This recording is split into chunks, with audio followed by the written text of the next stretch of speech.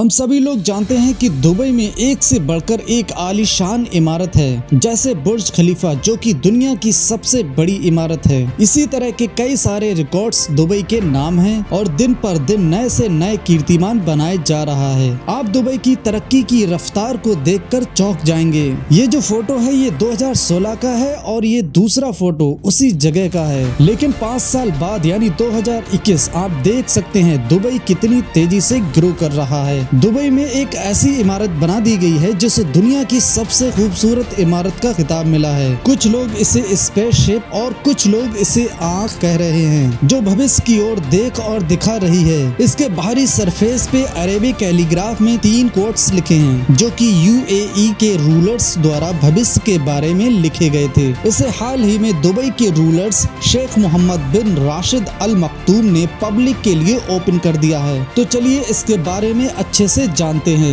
ये बिल्डिंग करीब 77 मीटर ऊँची है और ये एक फ्री स्टैंडिंग स्ट्रक्चर है। यानी कि इसे बनाने में एक भी पिलर का इस्तेमाल नहीं किया गया है और इस बिल्डिंग में कोई भी कोना भी नहीं है। ये बिल्डिंग तीस हज़ार स्क्वायर फीट में फैली हुई है। इसके बाहरी सरफेस पर 1024 स्टेनलेस स्टील के पैनल से ढका गया है। ये एक किलो बाइट के 1024 बाइट्स को रिप्रेजेंट करते हैं। ये दुनिया की एकमात्र बिल्डिंग है जिसे सिर्फ़ लैंग्वेज से ढका गया है और इस बिल्डिंग का नाम है म्यूज़ियम ऑफ़ द फ्यूचर। इसे बनाने में कुल छह साल का वक्त लगा, जिसमें 136 मिलियन डॉलर का खर्च आया, यानी कि लगभग एक हज़ार करोड़ से भी ज़्यादा। इस बिल्डिंग को व्यूरो हैपोल्ड नामक कंपनी ने बनाया है। लेकिन जैसा कि नाम से आपको ये एक म्यूज़ियम लग रहा होगा, लेकिन असल में ये उससे कहीं ज़्यादा है। ये एक लिविंग म्यूज़ियम है, यानी कि इस म्यूज़ियम में जो कुछ भी है, वो प्रेजेंट और फ्यूचर का है। ये इकलौता ऐसा म्यूज़ियम है जिसके अंदर बीता हुआ कल, यानी कि पास्ट का कुछ भी नहीं है।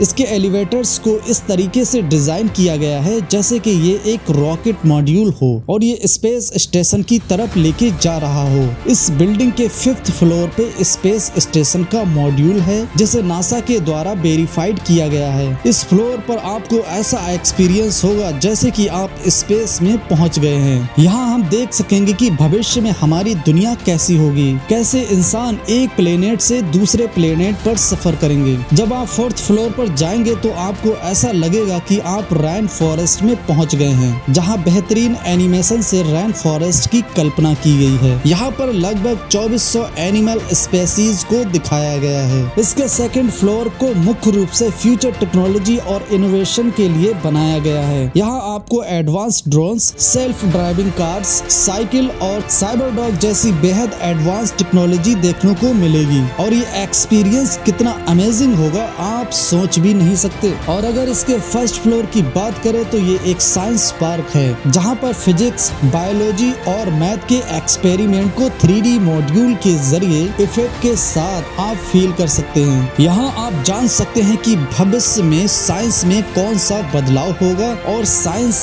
भविष्य को कैसे बदलेगा। दुनिया की सबसे खूबसूरत बिल्डिंग महज एक बिल्डिंग नहीं है, ये एक इन्वेस्टमेंट फंड भी है, जहाँ आपके आइडियाज़ को लोग इन्वेस्ट करेंगे। लोग देखेंगे ये इमारत न सिर्फ़ इनोवेशन और टेक्नोलॉजी को बढ़ावा देती है, बल्कि भविष्य को बेहतर बनाने की इंस्पिरेशन भी देती है। इस तरह की कॉन्सेप्ट बिल्डिंग का निर्माण भारत में भी किया जाना चाहिए। आपको क्या लगता है कमेंट सेक्शन में ज़रूर बताइए। और इसी तरह के इंटरेस्टिंग और अमेजिंग वीडियोस के लिए लाइक करें शेयर करें, और हमारे चैनल को सब्सक्राइब करके बेल आइकन को ज़रूर प्रेस करें।